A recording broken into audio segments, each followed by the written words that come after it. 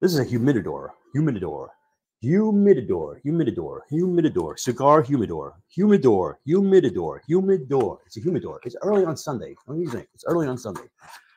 Oh man, this is pretty. This is thing's pretty cool. I like the finish of it. it you know, this would be good for uh, dad's office or, or the boss's office or you know anybody that's uh, you know like I said, spends a lot of money on their cigars. Check this thing out. It's wrapped up so nice so it doesn't get scratched. Where do you see the finish on this thing? The wood finish.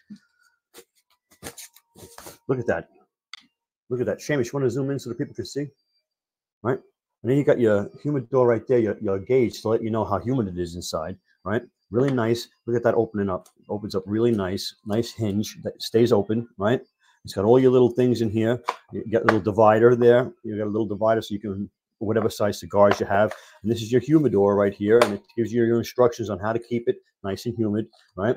Um, and look how nice that looks sitting on the desk, right? That's pretty cool. Okay, Seamus, you can zoom back out. All right, humidor, okay? And that is by Tisva. And uh, like I said, they send me these things to, to review.